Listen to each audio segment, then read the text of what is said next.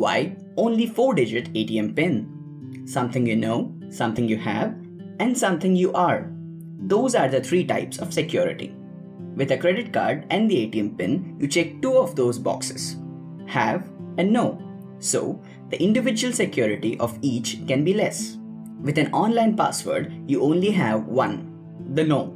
So, the requirements need to be a lot stricter to compensate for not checking off the other two types of security. So like, subscribe and comment with your feedback to help us make better videos. Thanks for watching.